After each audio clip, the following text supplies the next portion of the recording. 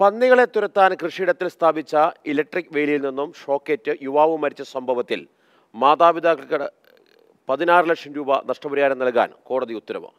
കട്ടിപ്പാറ ചമൽ സ്വദേശി ശ്രീനേഷ് മരിച്ച സംഭവത്തിലാണ് കോഴിക്കോട് രണ്ടാം അഡീഷണൽ കോടതിയുടെ വിധി.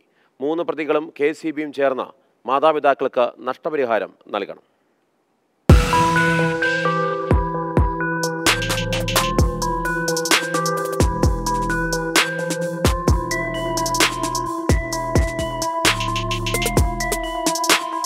രണ്ടായിരത്തി പതിനേഴ് ഒക്ടോബർ രണ്ടിന് രാവിലെയാണ് കട്ടിപ്പാറ കൊട്ടാരപ്പറമ്പിൽ ശ്രീനേഷിനെ വീടിന് സമീപത്തെ വയലിൽ ഷോക്കേറ്റു മരിച്ച നിലയിൽ കണ്ടെത്തിയത്. കാട്ടുപന്നിയെ തുരത്താനായി സ്ഥാപിച്ച ഇലക്ട്രിക് വേലിയിൽ നിന്ന് ഷോക്കേറ്റ് മരിക്കുകയായിരുന്നു. എഞ്ചിനീയറിംഗ് വിദ്യാർത്ഥിയും താമരശ്ശേരിയിലെ സൂപ്പർ മാർക്കറ്റിലെ ജീവനക്കാരനുമായിരുന്ന ശ്രീനേഷ് രാത്രി പന്ത്രണ്ട് മണിയോടെയാണ് ജോലി കഴിഞ്ഞ് വീട്ടിലെത്തിയത്.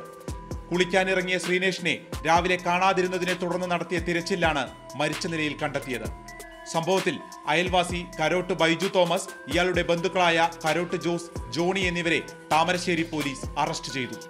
ജോസും ജോസഫും ചേർന്ന് നടത്തുന്ന കപ്പ കൃഷിയോട് ചേർന്നുള്ള ഇലക്ട്രിക് വേലിയിലേക്ക് ബൈജു തോമസിന്റെ വീട്ടിൽ നിന്നാണ് വൈദ്യുതി എത്തിച്ചിരുന്നത്.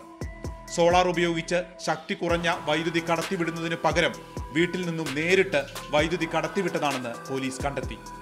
മനഃപൂർവമുള്ള നരഹത്യക്കാണ് ഇവരുടെ പേരിൽ കേസെടുത്തത്. ഈ കേസിന്റെ വിചാരണ പുരോഗമിക്കുകയാണ്. ഇതിനിടെ നഷ്ടപരിഹാരം ആവശ്യപ്പെട്ട് ശ്രീനേഷിന്റെ മാതാപിതാക്കൾ നൽകിയ സിവിൽ കേസിലാണ് കോഴിക്കോട് രണ്ടാം additional sub judge S Sooraj വിധി പ്രസ്താവിച്ചത്. അറസ്റ്റിലായ മൂന്ന് പ്രതികൾക്ക് പുറമെ അനധികൃതമായി വൈദ്യുതി എടുത്തത് ശ്രദ്ധിക്കാതിരുന്ന കെ എസ് ഇ ബിയെയും പ്രതി ചേർത്താണ് കേസ്. പ്രതികളും കെ എസ് ഇ ബിയും ചേർന്ന് പതിനാറ് ലക്ഷം രൂപയും ആറ് ശതമാനം പലിശയും ചിലവും നൽകണമെന്നാണ് വിധി. മാതൃഭൂമി ന്യൂസ് കോഴിക്കോട്.